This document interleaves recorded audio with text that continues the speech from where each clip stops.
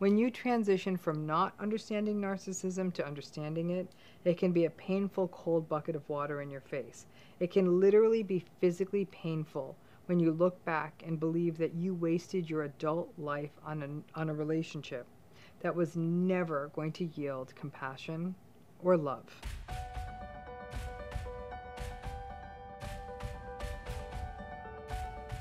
So, when we think about the grief of the narcissistic relationship, there are lots of things that people are grieving. They're grieving the actual relationship. They may be grieving never having had a normal childhood, grieving that belief in happy endings, grieving that they won't be able to give their child that intact family, grieving getting divorced when you vowed you would never let that happen. It's not just the simple stuff like the loss of a marriage or the death of a loved one. It's very nuanced grief. But the one barrier that really complicates narcissistic grief is having to recover from the lies, from the fiction. When people slowly decide to detach from a narcissistic relationship and then actually go through the rigors of getting out of a narcissistic relationship, they are exhausted because the d- divorces are messy and contentious. The family disapproval is strong. Finding a new job is difficult. Being ostracized from a group of friends is painful. It doesn't matter what kind of relationship you are trying to exit, it is very, very difficult. But the piece around lying and the lies you were told and recovering from those lies is a different kind of grief and recovery. After the initial dust settles, people look back and start feeling like they were in a Black Mirror episode and ask themselves, was any of that real? Was that, did that relationship, what, did, what just happen? And as the lies get unearthed, when you recognize that a partner actually had been texting their lover during your birthday party, or your parent did not share lies that if you had known the truth, you have, would have changed major life decisions you made or changed things that affected the course of your life. That your partner chose to stay married to you because it was financially more expedient than getting a divorce, and they didn't stay because they loved you. That all of the future fakes were fake, and all of those promised things never came to fruition and were never going to happen. You were never going to do the things they married, like move closer to family or have the support to go back to school or take a vacation or have kids. And now it's too late to address many of those things. So not only is it the grief of the lies, meaning you didn't or couldn't do some things, but the confusion about what was actually real in your life. It can leave people in a ruminating fog, staring at old photographs and wondering I was smiling, but now I know it was a lie. Was I happy? Were they happy? What just happened to me and what just happened in my life? When working with survivors, I often encourage them to divide things into different categories episodes, contexts, and feelings. When people ask themselves, Was my life real? It can be really challenging because, yeah, it was as real as anything is, but the issue is not whether those things happen, but it's the interpretation and perception of those events that's getting challenged. So the question is not, when you look at the pictures, did we go to Italy? Obviously, yes, you did. You have the pictures of you standing in front of the Tower of Pisa, or the yellowed boarding pass stub, or the earrings you bought at a flea market. Yes, you were there.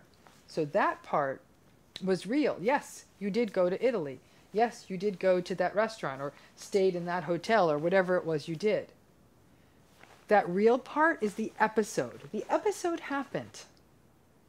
But then, when you look at that smile and look at that photo, and you're both smiling big, and then you do the math and recognize, for example, that perhaps your partner's affair was actually happening at that time you you just didn't know it at the time.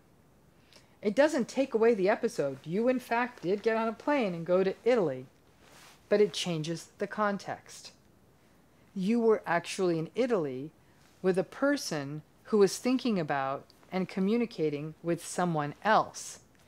The trip, the physical trip, was real, but the circumstances were not what you thought.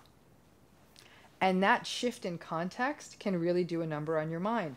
Fact is, the people were smiling in the picture. We don't know, actually, though, why. Then there is the feeling part. You believed you had gone to Italy with a loving partner, maybe to address a rough patch in the relationship or take your first trip together in years. That smiling picture. You recall being happy that day. Was your partner happy that day? Who the hell knows? Maybe they were. Maybe they were actually happy having a nice time in Italy with you because it's beautiful. And they were bolstered by whatever additional narcissistic supply their affair was giving them. Maybe they weren't happy. Maybe it was a white knuckle trip for them and they had planned to divorce you, so they were smiling through gritted teeth. And the feeling part is the part that really does a number on your grief and recovery because you perceived a truth that your partner, just like in that picture with that big smile, was all in or they were happy. You see that smiling picture? But in fact, it wasn't what you thought. A narcissistic relationship involves years, if not lifetimes, of wishful thinking, and all of that wishful thinking being drawn and rendered into a relationship. Basically, all of those justifications and hopes and beliefs in future faked promises becoming a sort of picture you have drawn of the relationship you want, the relationship you hope for, the relationship you wanted to believe in. When the lies slowly reveal themselves, the justifications are shown for what they are, and it is devastating. The cognitive dissonance, the trauma bond, all of that, the whole thing confuses you and leaves you really, really confused. A key element to narcissistic grief is rumination. You ruminate about the lies and why didn't I see any of this? Why didn't I leave when I saw the lies? And why didn't the people who knew about the lies say something to me?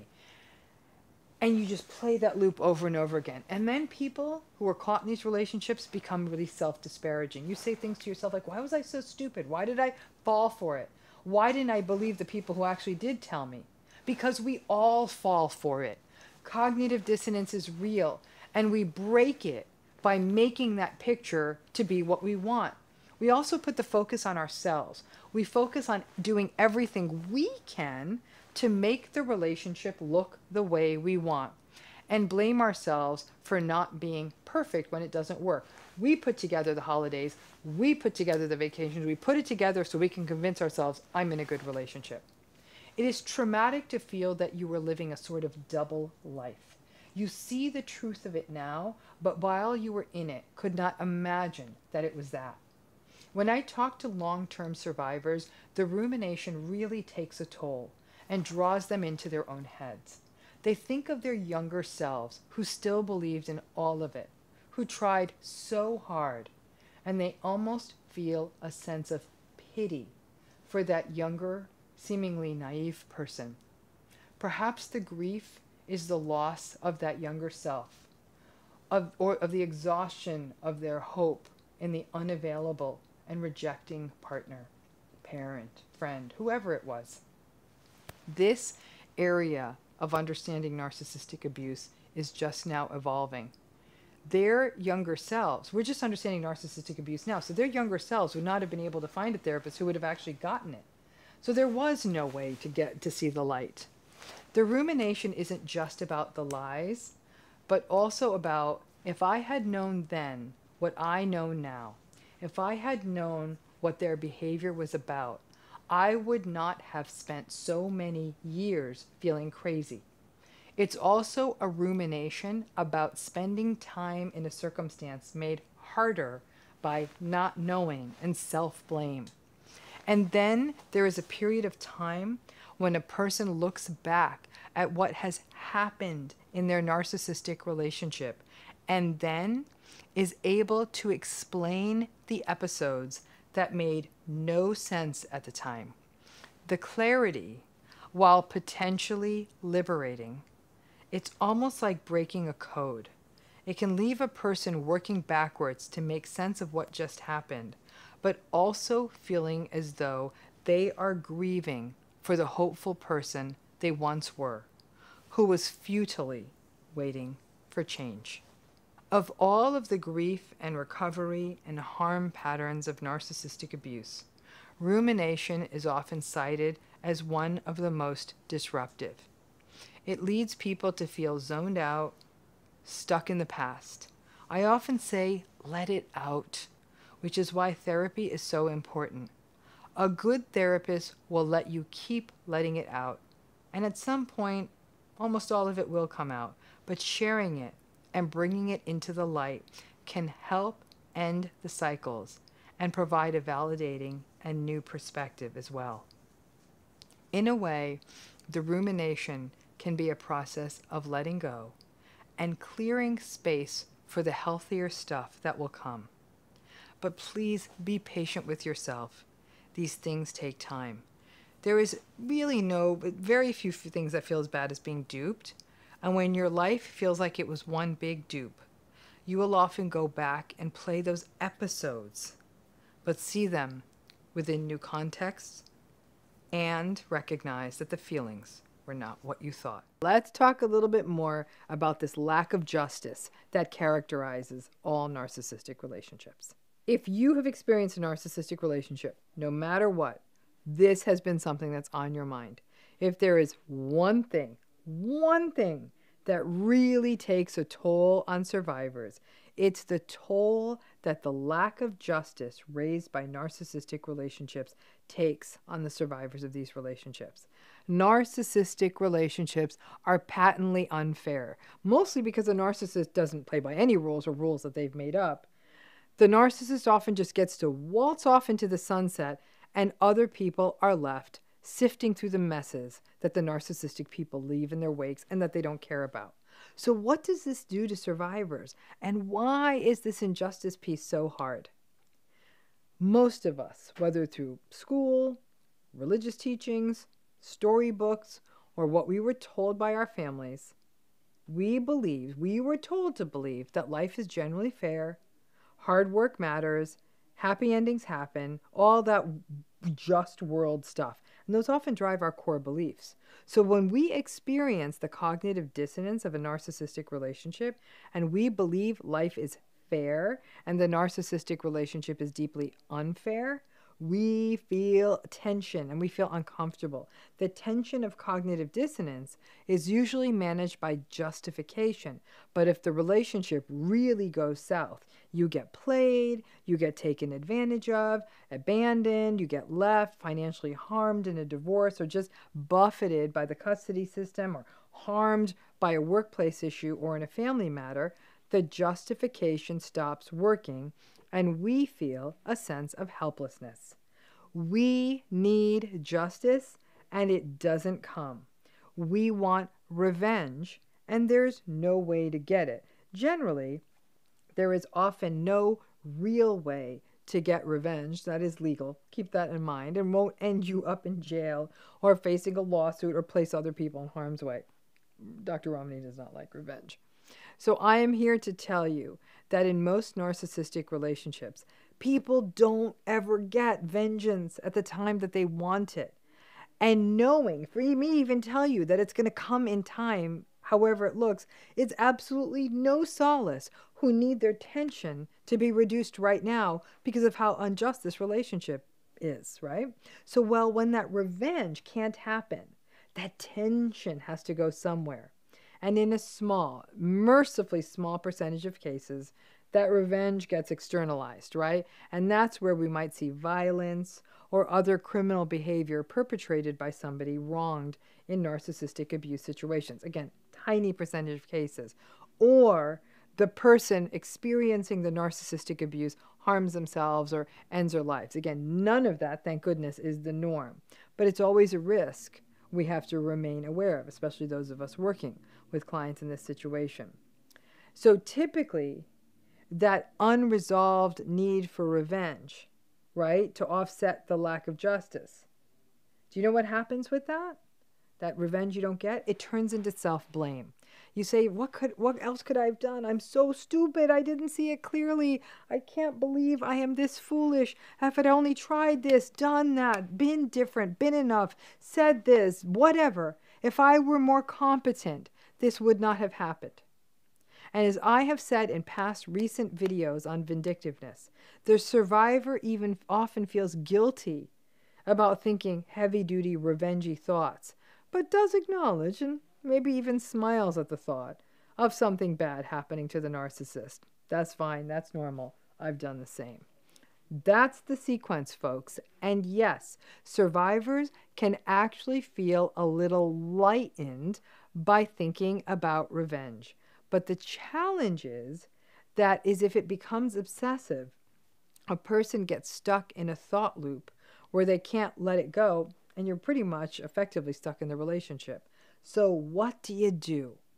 This is a tough one because, in the absence of justice, lots of folks get stuck there for a minute.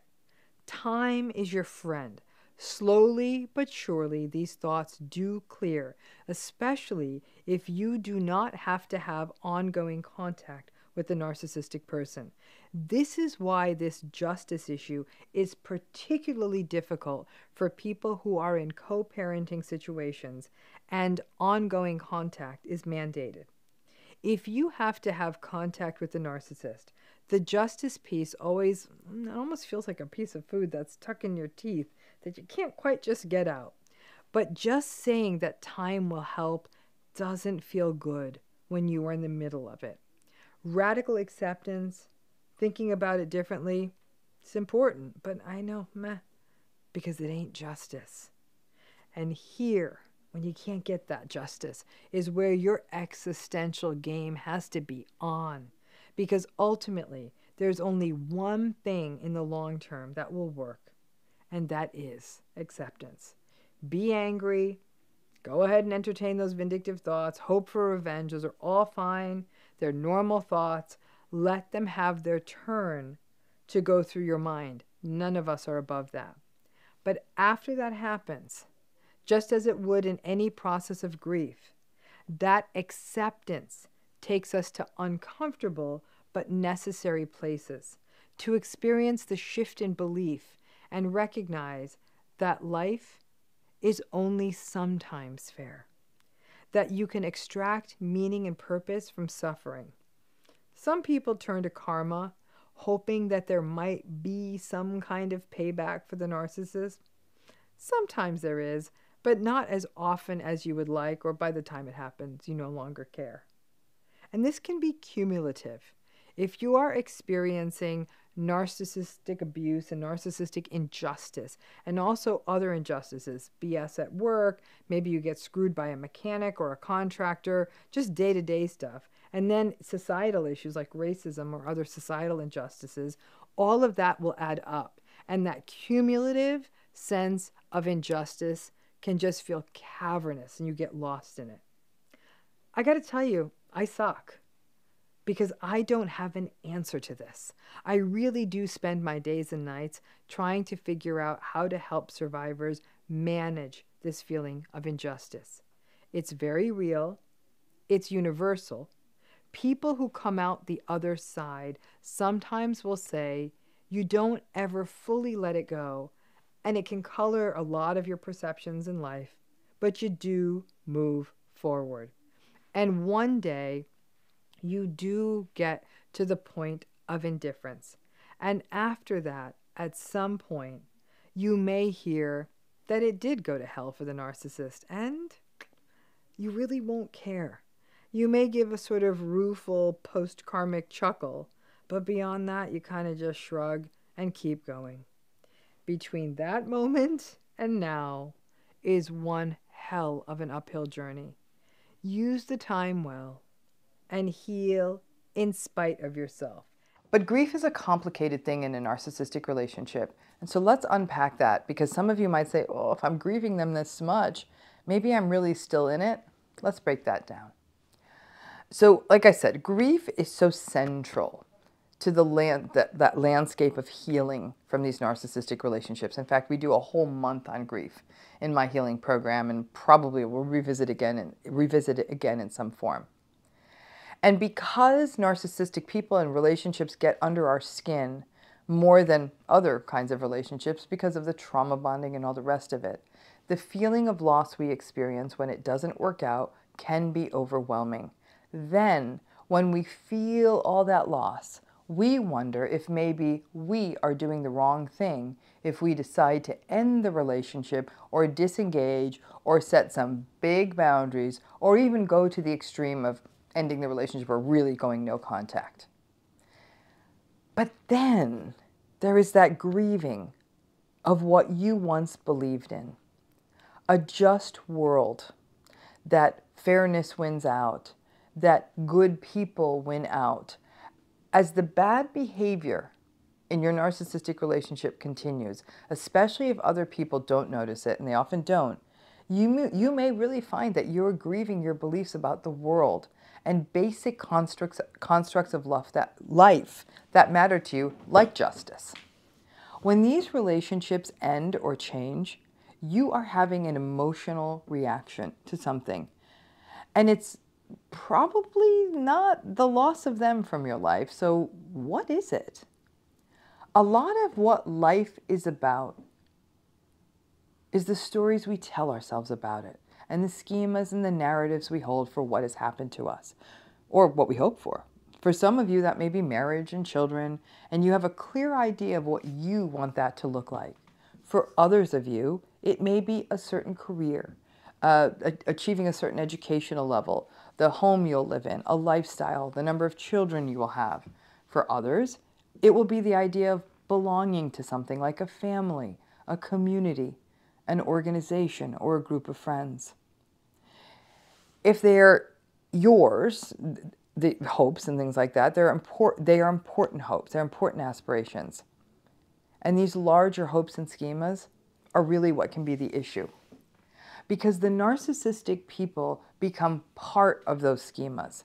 They are your spouses or partners or fiancés. They are your parents or grandparents or extended family. They are your siblings. They are your mentors, bosses, or business partners. They are the members of whatever community matters to you. And because they are part of those systems, that means changing up your relationship with them. And to do that may mean having to change up your life, changing up yourself, and perhaps giving up on institutions and narratives and a sense of belonging to these things, to these people that matter so much. When you step away from a marriage or long term relationship with a narcissistic person, you may be thinking, Thank goodness I am getting out of this manipulative train wreck. But in the same breath, you are grieving what you had hoped for someone to grow old with, someone to share a family with, to share a life with or a history with. The grief is often about those schemas, narratives, and hopes, not necessarily the person. And that can confuse the hell out of you because that narcissistic spouse or partner seemingly was the marriage.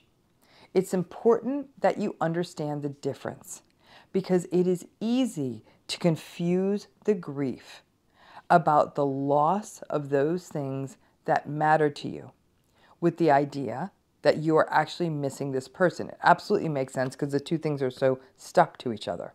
Now, similarly, with a family of origin, you may be grieving ever knowing what a family, happy family was, or a normal childhood, or healthy sibling relationships, or a place where you feel seen and valued and safe.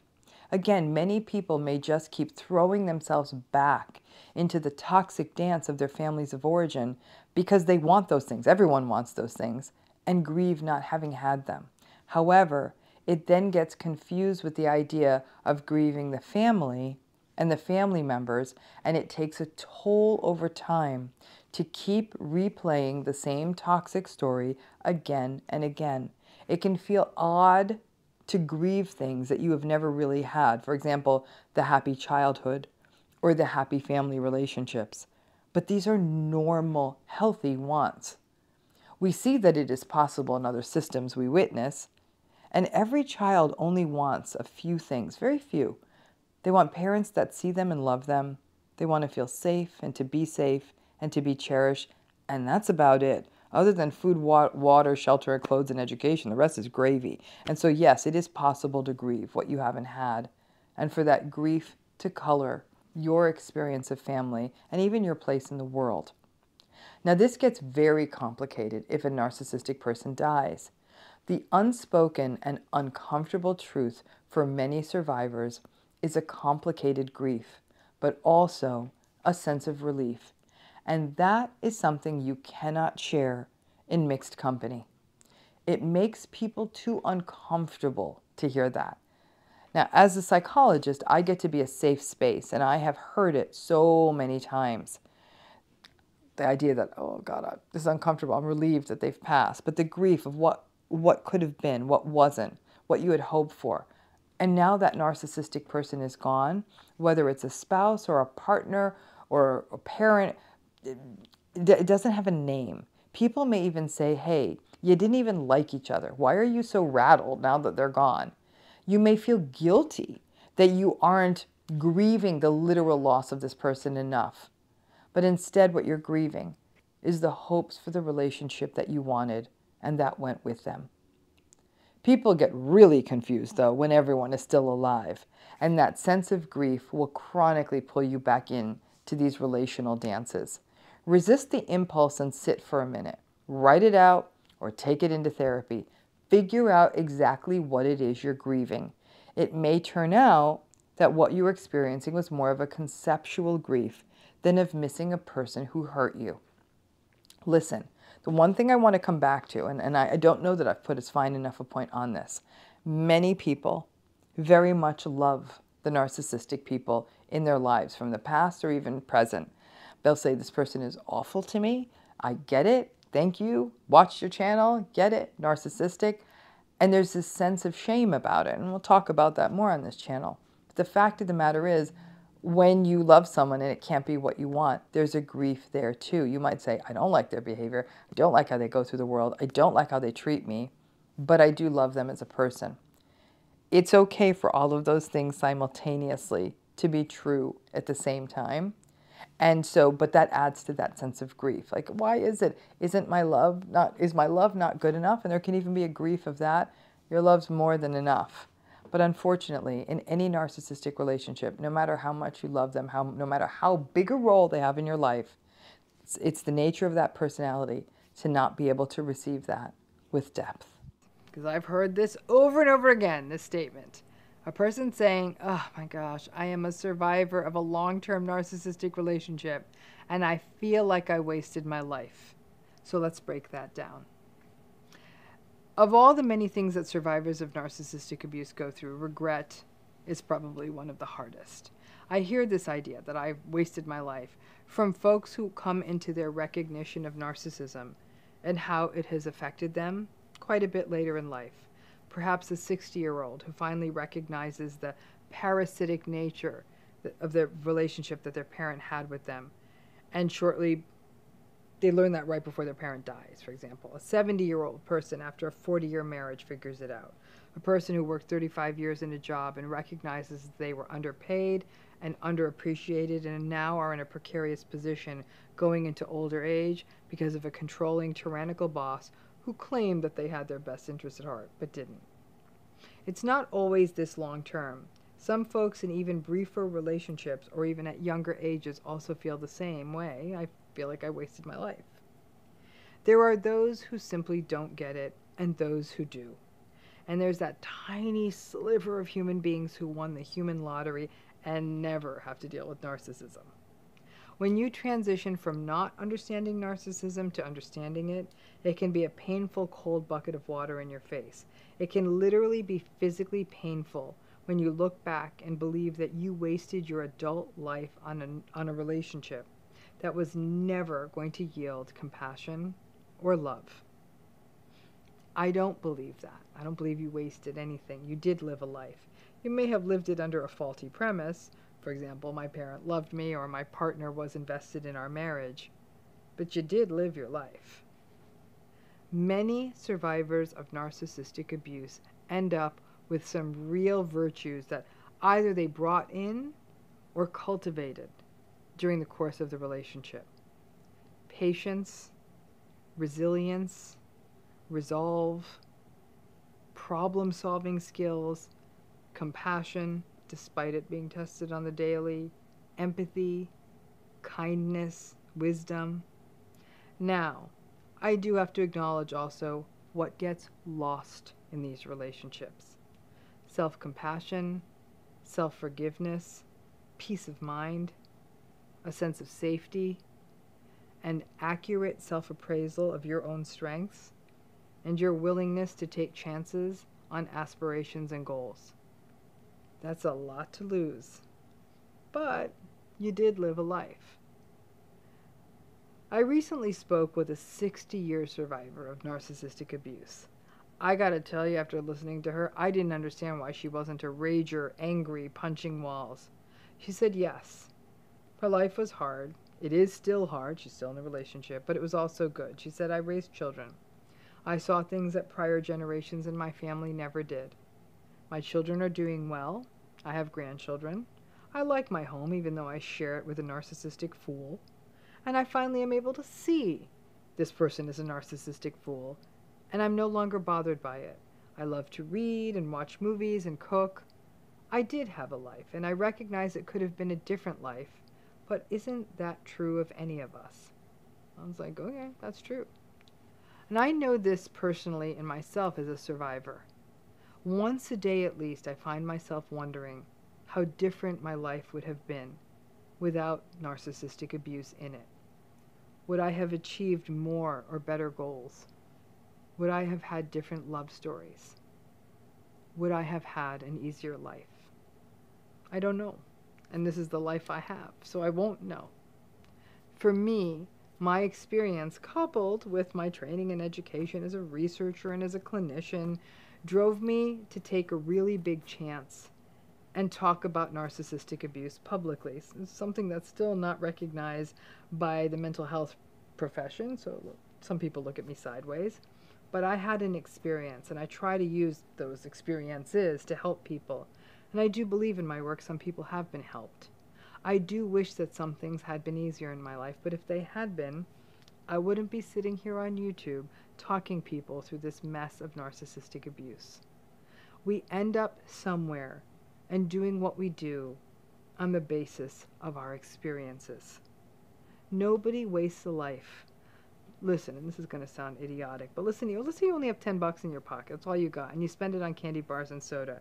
And those candy bars and soda give you joy. I don't know, did you waste that money? I don't think you did. Someone else may come around and say, well, there's so many better things you could have done with that money. But you did what you did, and you love the candy bars and soda, and it was fine, okay? the waste. Actually, if any anywhere the waste comes, the waste comes from believing in the narcissist. Walking through the world feeling in love, that unloved, that can feel like a waste. And I understand that too. You would have experienced life differently if you had grown up or felt love, feeling loved or seen. However, I still don't think it was a waste. You were still in the world. You were still learning and having experiences. I actually think that whenever you come into awareness about narcissistic abuse, you can run with that lesson. You get to spend the rest of your life, once you get it, you get to spend the rest of your life seeing the world more clearly. It's almost like going into a casino and being able to spot the winning machine or being able to see the cards or having magic dice. You can actually avoid being played and maybe even win. When done right, once you get it, you can actually take back joy because the narcissists steal that when you're with them. But now you see what they're about. You can stare with wonder at a night sky, or feel the cool rain on a warm day, or watch a hummingbird out the window with wonder, and keep it to yourself and not let the narcissist suck that joy away. Because now you get it. And you know not to share it with them because they'll minimize it, and you get to be in it. Personally, I think surviving narcissistic abuse is sort of an unnecessary experience. I am never going to suggest that someone go out and seek narcissistic abuse out so they can learn something. Trust me, it's going to find you. But it's like a painful, torturous form of finishing school or graduate school. Listen, I went to school for a really, really, really long time to do what I had to do. While I was a student, I was broke, it was hard, I didn't make any money. But it wasn't a waste. I learned a lot. It shaped me. I got over the debt. You learn a lot from these messed up relationships, whether it's school or narcissistic relationships. Not always lessons you wanted, but none of it is a waste. Grief is a big part of the landscape of growing beyond the narcissistic relationship.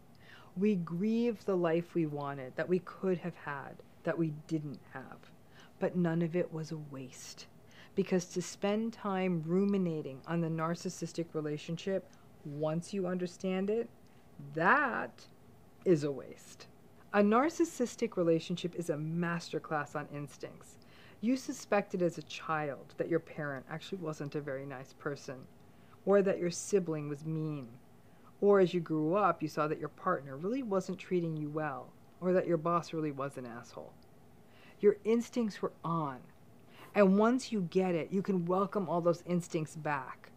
All of this was a honing of your instincts. Understanding it brings those instincts back to life. And listen, I've been doing this for a while. I am 56, and it was only recently that I'm seeing this much, much more clearly. It wasn't a waste. For me, every broken heart, broken promise, and sadness I experienced, ultimately, it all gets poured into these videos, into words in a book, and into my lifetime commitment to helping survivors. That is how I try to recycle the anguish of narcissistic abuse into something good. So I want you to view this, your healing, as a bit of a recycling project. Take that so called waste and turn it into something. It might be helping others, it may be pursuing your goals, it may be lifting stuff out of that bucket list, it may be simply cutting other narcissists out of your life. It is never, ever too late, ever. I hear from survivors in their 80s.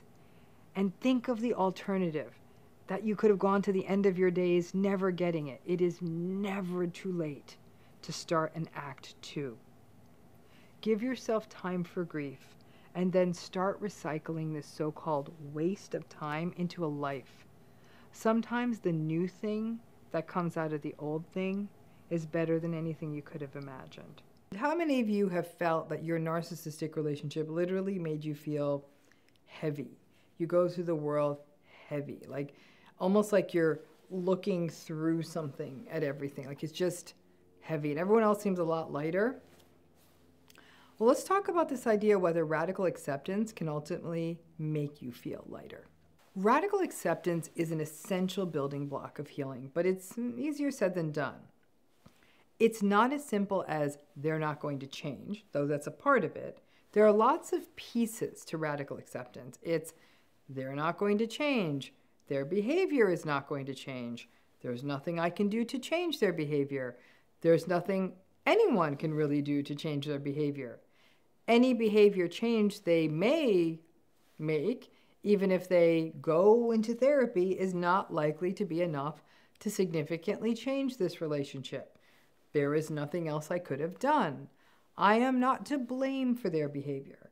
There will always be some grief about this, right? So, all these pieces, you're radically accepting all of that, right? That's a lot to take in.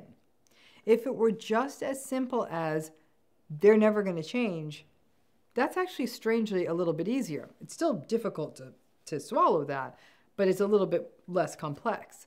You would maybe accept that, that they're not going to change, yeah, maybe you'd even assume, like, okay, they're not going to change, so either I adjust to this or I get out. But the way that this relationship gets in and messes with your head and your soul and the sheer amount of injustice can mean that at best, radical acceptance feels like a booby prize, a weak ass consolation prize. So, for all of its importance in healing, it doesn't always feel like it will help. When the radical acceptance has to be about someone you care about or love or are supposed to love or have a history with, it's not easy to take that radically accepting view on someone. The idea of them never changing, of this circumstance never getting better. You're still hurt. And that is why part of radical acceptance is that you may not get so called closure or justice. And we know that healing is far more difficult in the absence of justice. So when the narcissistic person waltzes off into the sunset with their new flavor du jour, and you're left holding the bag and the pieces and really feeling the depth of feeling, which they don't because they just don't feel deeply, you actually want to tell me to go F myself with all of this radical acceptance talk, and I get it. But radical acceptance does get you somewhere. Give you an example. It's a silly example, but it's an example. I remember a few times way back when I was in school, high school, and even college, and I was trying to wrangle and master a difficult concept, especially in a science class, like a statistics or chemistry or physics or math class. There would be a moment when I finally got it. The formula made sense. And it was as though you could never not get it right again. There was something very soothing about that moment. I was like, oh. And even though it was a hassle and a half to figure it out and learn it, and I was often pretty bored in those classes, once I got it, the anxiety lifted and I even felt lighter. As I said, I didn't enjoy these classes, but I would get it, and then I'd get it, and I would go on and I would do fine in the class, but I felt lighter because it was like, oh, got it. Now, I've had countless clients say to me over the years, I hate radical acceptance, Dr. Ramani. It sucks. I sometimes even feel like a cynical, awful person because of it, as though I can't see the bright light in someone or their potential or their hope. But then there is that day, and it takes a minute, but it comes. And I have to say, personally, from my chair as a therapist, it's a good day for them because the radical acceptance, in essence, has seeped into them. It's literally gotten into their DNA. And they will say, for example, it's really gross and creepy how quickly he got into a new relationship. But I now really do see that this new person is just going to have my experience and it'll end badly. And I'm actually to the point where I kind of honestly don't care. He's someone else's problem now. Some people will say, you know, when I finally got it, understood what this, radically accepted, the holiday season wasn't as bad. They're like, every single bad thing that happened every year prior during the holidays happened, but it was as though I was watching a movie I had watched before. Like on an airplane when you just sort of watch the movie again to pass the time. I kind of felt detached from it. Someone else had said to me, I really believed in this hospital I was working in. Like it was a hospital as part of a university. I thought we were doing great work here in this community. But when I really saw the leadership team clearly, I really saw them, in particular two people. I was able to reflect on the good work I did in this place and know in my heart it could never be done the right way there again. And I just counted down the clock until I got my extended health care benefits and I found a new job. I think at one time I kept fighting and fighting in this job because I wanted them to do the right thing, but once I knew they never would, leaving was easier. For each of these people and their stories, it was absolute agony for them to get there. Sleepless nights, depression, anxiety, panic attacks, self blame, self doubt, self disparagement, and of course, all of the BS that they had to endure in the narcissistic relationships. But all of them, and many more, have said, you know, once I hit radical acceptance, hard as it was, ultimately I felt lighter. And that despite the grief and the loss and the loss of the story and the life that they hoped for, they still felt lighter. So, what's that about? Getting it, just understanding it, deeply at the level of radical acceptance. It lifts something off of you. Radical acceptance, like all the way down, like I said, into your DNA, radical acceptance means you fully see it. And it's not what you wanted to see, but you see it and you get it. And then slowly, some other things may lift a little bit too. The self blame. You think to yourself, no, there was no other way I could have said it. No, there was nothing more I could have done. Some of the self doubt may lift. You might think, like, it may not be the right answer, but I feel more comfortable doing it this way. And while the rumination may not fully lift, your rumination might actually start circling back into more of a solution. It can be uncomfortable watching someone new, for example, in their life get all of the new love bombing. You know what that was like. But then you can play the story out. You know where it goes. And the pang and the rumination may hit for a minute or even longer until you know that your ex narcissist, who's with someone new, will ultimately also minimize and marginalize and mock or crumble once their lives aren't going exactly the way they want. It's how the story always goes. Thanksgiving will always be a disaster, and there was no perfect way to make it to please that narcissistic person. Once you radically accept, you will have more time, more mental space, and something lifts off of you, right? In its simple form, it's like me finally understanding how the math problem worked. I still didn't like the math class, but I was able to get through it with a lot less misery. I was lighter when I walked into the classroom. I was glad when it was done, but it was easier. The grief stays with you, folks. I wish I could say you radically accept and then you're light and breezy and it doesn't feel bad ever again. You will grieve not having the family you wanted, or the childhood you wanted, or the career you had hoped, or the friend ending up being a backstabbing weasel. That stuff sucks. And when it's more primal, like family, you do have that.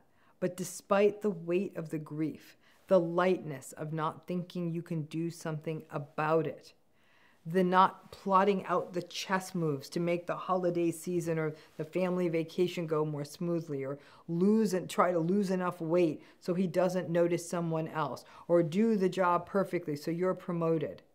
There is a lightness to knowing you no longer have to try so hard. In fact, at best, you just need to figure out some of the fundamental workarounds for your narcissistic relationship. A little bit of yellow rocking, perhaps, or some disengaging, or finding your other people out in the world to share your good news with, or starting a side hustle that can turn into a full time gig if you could make it work. You put your energy elsewhere. You stop trying to make the narcissistic relationship work. A narcissist, being in a narcissistic relationship is a bit like living in a whodunit detective story. Because once you see it, yeah, the story becomes a lot less interesting, but it also lifts a lot of tension. And with that, a heaviness gets lifted. You do feel lighter once you radically accept. And while the grief and the ick are always there, somehow radically accepting can also foster self compassion and even the possibility of integrating what has happened as part of a larger picture of meaning and purpose. It takes a minute. There is no fast track to this, but you will get there. And when you do, this lightness of radical acceptance will be sort of a weight loss like no other. Because when your soul feels lighter, everything fits. And one last thing, something else to help you feel a little lighter. I wanted to take a moment to let you know something exciting. And it is I have a new book coming out in February of 2024 called It's Not You. It's available for pre order now. Click the link in the video description to check it out.